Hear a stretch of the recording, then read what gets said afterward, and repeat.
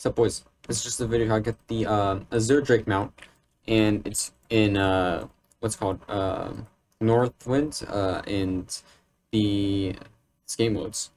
Uh, where's it called? It's one in the uh, Borean Tundra, uh, the Nexus place here, right here, uh, and pretty much you. It's on the top of here. There's a dungeon down there, and once you fly up here, you, you can either set it to uh 10 player or 25 player mode, it doesn't matter. You, um, each of them drop it pretty much.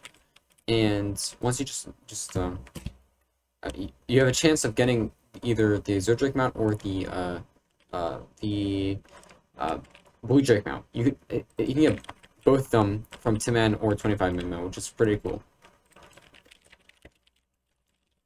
So again, this is just an easy boss. It's kind of see stuff.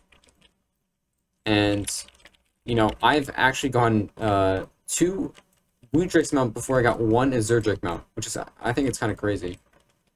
And, uh, yeah, I mean, this guy says not that, it's not that hard. this guy, I mean, sheesh. But yeah, this is kind of the boring part. You just have to wait until these guys come down, kill these guys, and then pretty much go a dragon, uh, and then you kill them, pretty much. You hop one of you hop one of these uh these discs and you just fly around kill these things.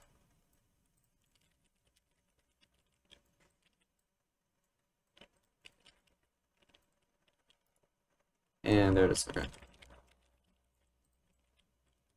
And that should be a and then yeah there it is.